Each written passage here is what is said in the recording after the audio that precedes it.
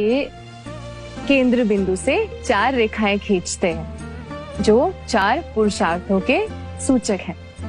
ये धर्म, ये अर्थ, कर्म और ये मोक्ष।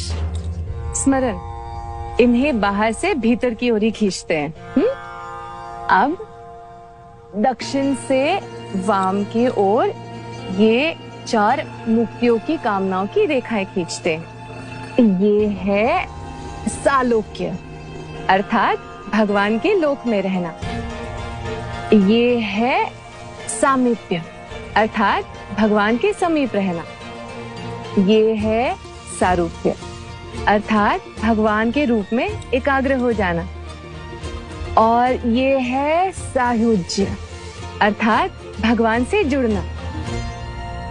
और इन चारों रेखाओं के अंत में ये अंतकरण की रेखाएँ बनाते हैं। जो है मन, बुद्धि, अहंकार और चेतना।